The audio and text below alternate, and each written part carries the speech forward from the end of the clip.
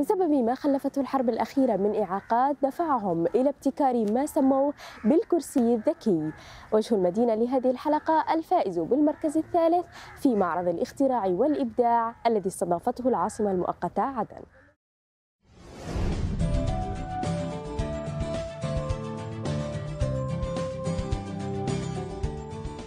بدأ كل من مريم عبد الحكيم ومحمد أحمد وريهام عيدروس فكرتهم في اختراع كرسي لذوي الاحتياجات الخاصة مزود بأحدث التقنيات كمشروع تخرج حصدوا فيه أعلى الدرجات في كلية الهندسة قسم كمبيوتر والمركز الثالث في المعرض الوطني الأول للاختراع والإبداع الذي استضافته على مدى أيام العاصمة المؤقتة عدن.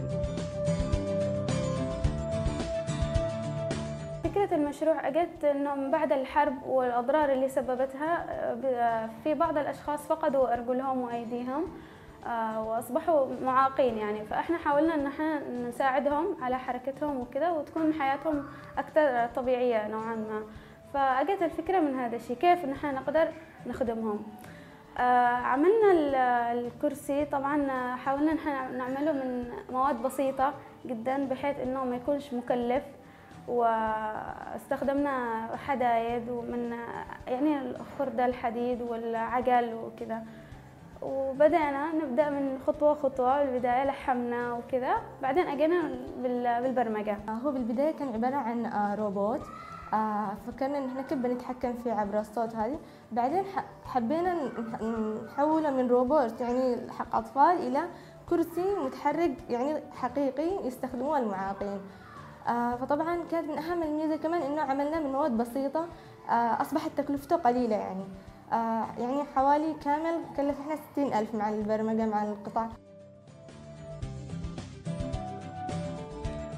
استقى المهندسون ثلاثتهم فكرة الكرسي الذكي من أحداث حرب ميليشيا الإنقلابيين على عدن والتي تسببت بالكثير من حالات الإعاقة الدائمة. فأراد هؤلاء مساعدة المعاقين من أبناء مدينتهم وتعويضهم شيئا مما فقدوا وبسعر مناسب. كانت الخطة أن كيف نقدر نخدم هؤلاء الناس هذه الطبقة الضعيفة من الناس باستخدام المعلومات والعلم اللي تحصلنا عليه في مسيرتنا التعليمية خلال خمس سنوات. ففي البداية يعني حاولنا نضيف ال artificial intelligent ال AI إلى كيف ممكن نستخدم هذا العلم لخدمة هؤلاء الناس؟ كان في البداية عبارة عن كرسي هذا الكرسي حاولنا إدخال الذكاء الصناعي إليه.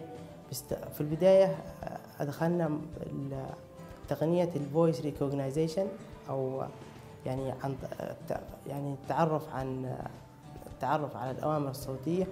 وكان تركيزنا وأهم ما في النجاح الذي حققنا في هذا الجانب انه كنا يعني بالأوامر باللغة العربية. لخدمة الناس في في مجتمعنا في بيئتنا المحيطة. استخدمنا يعني وحدة ال voice recognization unit لتحقيق هذا الغرض. تقوم باستلام الأوامر الصوتية من عن طريق المايك من المريض وتعمل لها processing ثم تعطينا يعني تحول لنا هذه الأوامر إلى signals بحيث إن نقدر ندخل في الجانب الكهربائي من الكرسي بحيث ممكن نوصلها تعمل over control على الجزء الكهربائي من الكرسي المتحرك.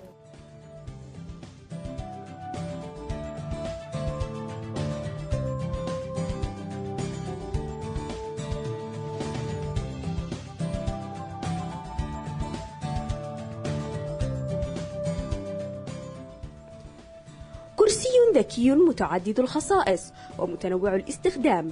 كان نتاج عمل طويل وجهد شاق ومراحل متعددة. استعانوا فيها بالكثير من الخبرات وصولا إلى هذا النجاح.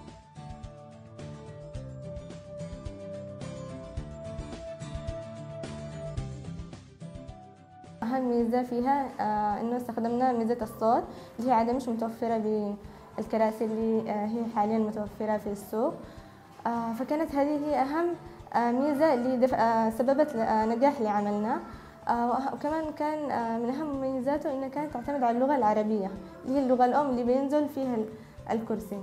وكمان هو يدعم لغات أخرى بس إحنا استهدفنا اللغة العربية. نمشي عن طريق الصوت صوت المريض نفسه بحيث إنه المريض يتحكم بحركة الكرسي يمين يسار وده كله كان باللغة العربية عشان يكون متداول أكثر هنا يعني الناس يقدروا يستخدموه. فطورنا هذه الفكرة إنه بحيث إنه بالصوت يكون أحسن يعني في حالة إنه المريض ما يقدر لا يستخدم لا أرجله ولا ايديه يعني شلل رباعي بيكون عنده. ففي حالة إنه المريض كمان ما يقدر مثلا يتكلم أو شيء فممكن نحن بالعصا الإلكترونية في حالة إنه يقدر يعني يستخدم أيديه في عصا إلكترونية هذا الخيار الثاني.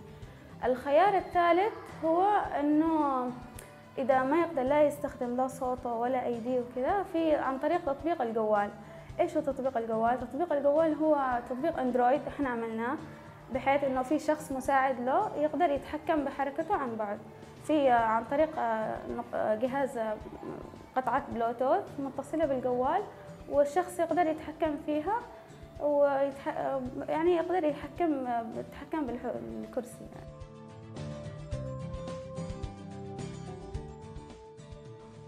هؤلاء الطلبة بالمركز الثالث في معرض الاختراع والإبداع الأول بعدن الأمر الذي ولد لديهم الرغبة في مواصلة هذا النجاح مؤكدين أن مشاركتهم في معارض الاختراعات القادمة ستكون بأفكار متجددة واختراعات أكثر تطورا.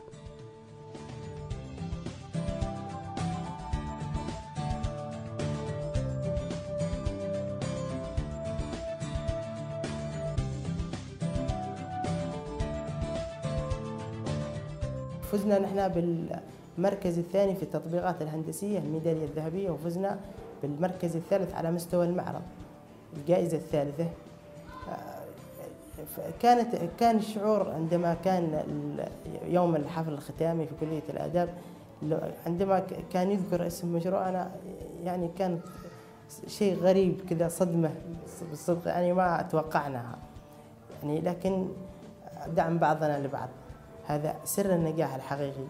كان يعني النجاح أن كانت خطتنا يعني ما في سقف محدد كل شيء ممكن. ممكن الشيء الوحيد اللي ممكن يقيدنا هو عامل الوقت. تحت هذا تحت هذه الفكرة تحت هذا الإطار نحن قدرنا ننجز شيء ممكن نسميه يعني إبداع أو ممكن يسمى اختراع. ونتمنى أن لا يكون المعرض الوطني لاختراع الإبداع فقط أن يكون هناك معرض وطني ثاني وثالث ويستمر مستقبلا إن شاء الله.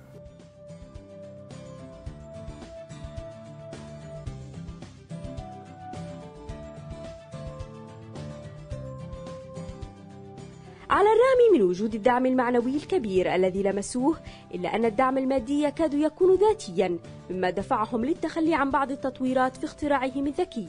تاركين ذلك للمستقبل القريب إن توفرت لهم الإمكانيات.